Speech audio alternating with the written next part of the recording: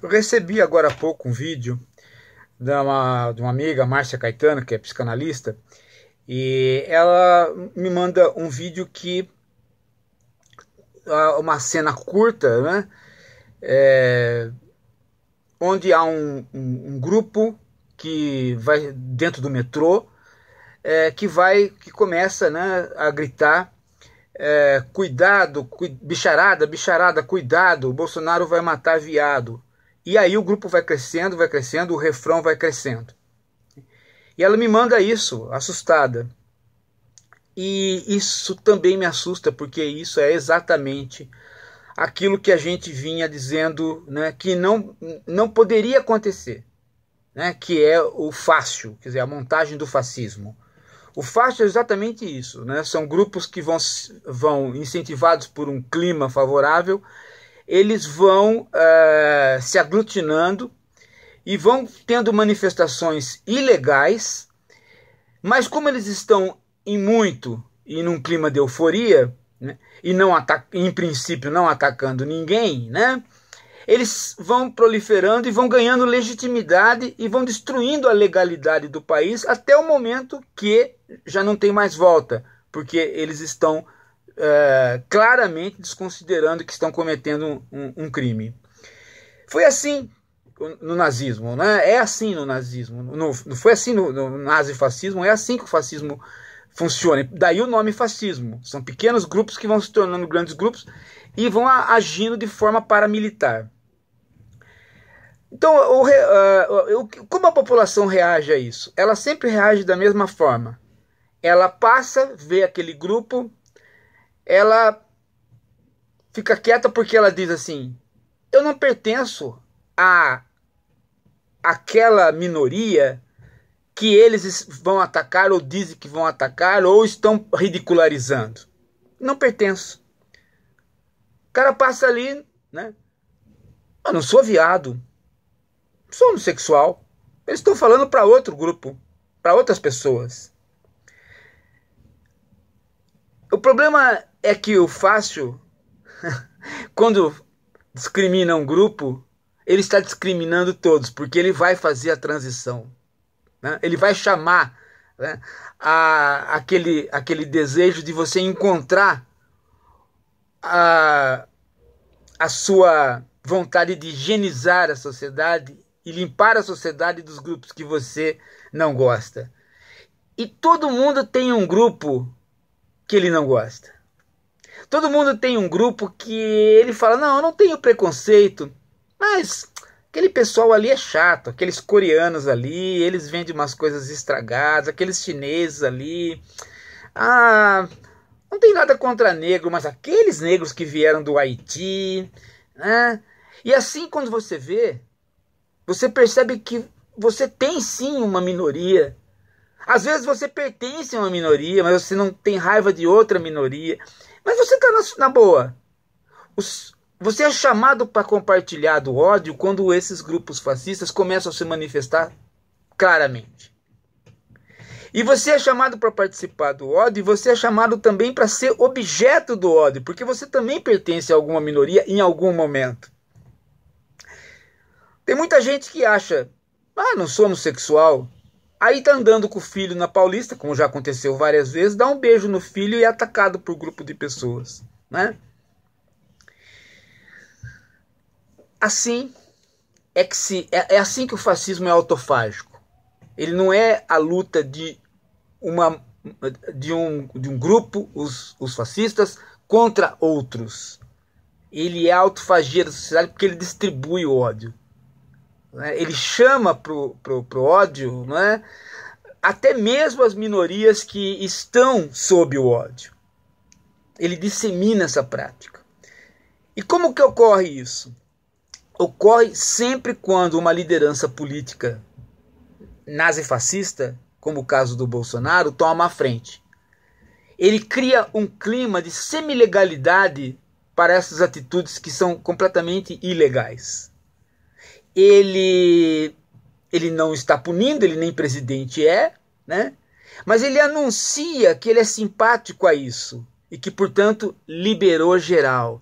Os instintos estão soltos pode odiar aqueles que você nunca teve coragem de dizer que odiava. E a sociedade vai se corroendo com isso. Vai se corroendo com isso. E, e só há um jeito da sociedade se unificar de novo quando ela se corrói com isso. É a guerra. Você tem que escolher um inimigo externo, provocar uma guerra, né, para que a sociedade se una novamente em torno disso. Foi o que o Hitler fez. Quer dizer, o, o, os grupos nazifascistas começaram a, de, a, a devorar a sociedade. Então se escolheu a guerra.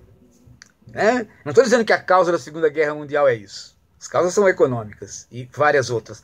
Mas a escolha da guerra permanente é a única saída né, para que você tenha a união da população de novo. Porque o ódio vai corroendo todas as partes. É claro que no nazifascismo os judeus foram escolhidos principalmente também para o ódio interno, mas não pense que foi só. Também os homossexuais, também as pessoas com deficiência, e assim foi. Também vários grupos de estrangeiros. Esse ódio disseminado pelo fascismo, ele, ele é um ódio é, direcionado a minorias, mas ele extrapola isso, porque ele contamina você a, no sentido de que você não vê mais barreiras legais para não odiar. É uma é, ele extravasa os piores instintos que nós temos. E é exatamente isso que nós estamos vendo na sociedade brasileira. Nós estamos vendo as pessoas comemorarem a maldade. Tá? Elas estão comemorando a maldade, elas é, é, é, elas estão com um sentimento altamente libertador, sabe? Altamente libertador. Começa, às vezes, muito fraquinho. Começa você lendo o Pondé, né, que ele incentiva o, o, o, ódio contra as esquerdas, ou o Olavo de Carvalho, que incentiva o ódio contra tudo, né? E você vai se liberando, se libertando. Você fala, nossa, como eu estava reprimido, né? Eu estava reprimido por esse politicamente correto. Eu estava reprimido por pessoas que ficam me dizendo que eu tenho que ser bom. Né? Eu não quero, né? Eu quero me libertar. E essa sensação de que você, podendo fazer o errado, se libertou, te dá um grande conforto. Depois você passa para o segundo momento. Já não é mais só ler o Pundê ou só ler o Olavo de Carvalho. Né? Já é sair da barbárie semi-intelectual para a barbárie efetiva, de rua. Você encontra um grupo desses gritando, né?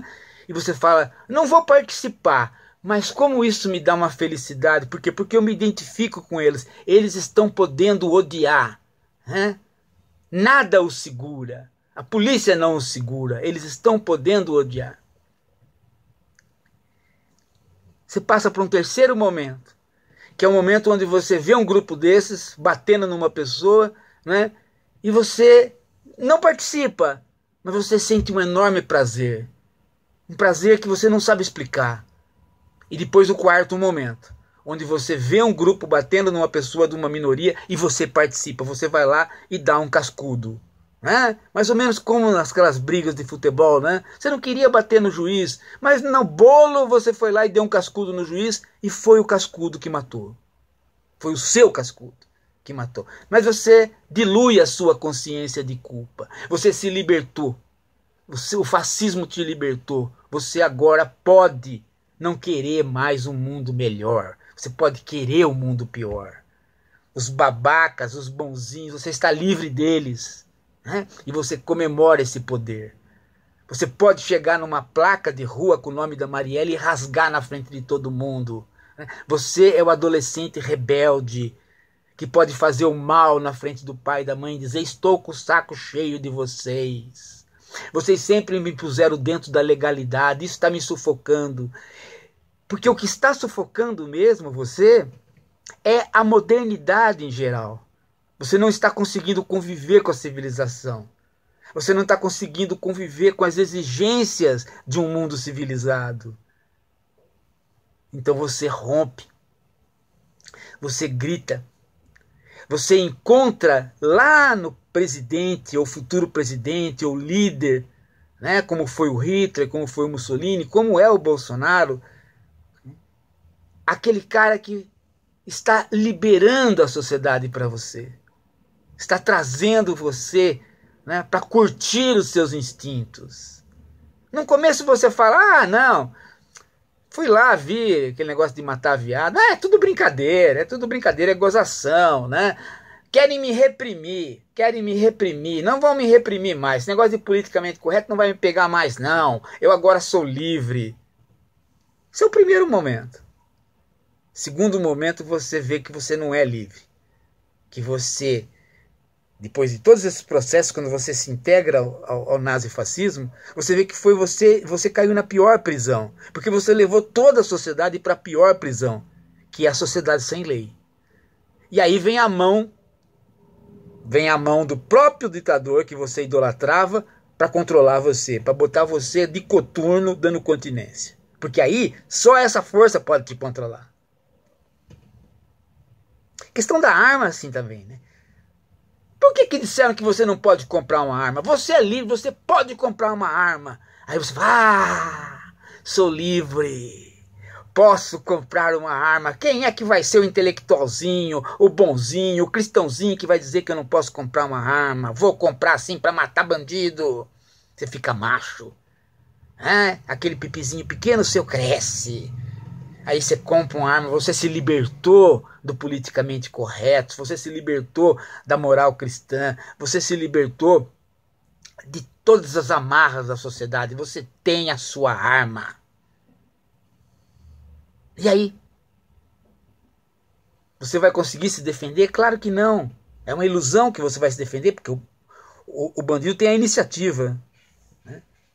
Mas você agora tem uma arma para matar, porque agora você também virou bandido. Você vai acordar muito tarde. E quando você acordar, você vai acordar com a polícia do próprio Bolsonaro batendo na sua porta para recolher a sua arma, porque não, te, não interessa mais aquela, aquela propaganda de liberdade. Até porque aquilo não era a liberdade. Essa é a história do nazifascismo, essa é a história que nós estamos vivendo essa é a história do, da, da, do bolsonarismo, né? que é talvez a pior fase que a nossa sociedade já, já passou. É a pior. Né? E junto disso vem a perda dos direitos trabalhistas. Porque a perda dos direitos trabalhistas é uma forma de enfraquecer o indivíduo, enfraquecer o individualismo e trazer você para o fácil onde né, você fica à mercê de não ter mais direitos. Então você cai na mão dos grupos. É como quando você perde a segurança pública e você cai na mão das milícias. É a mesma coisa. Você perde os direitos individuais, os que são direitos trabalhistas principalmente, né? e você vai cair na mão dos grupos que estão próximos ao poder. Você fica devedor. Você cai na mão da milícia bolsonarista. Mas você se acha livre. Porque você está livre do poder da civilização. Você está podendo ser bárbaro. No sentido literal da palavra, né?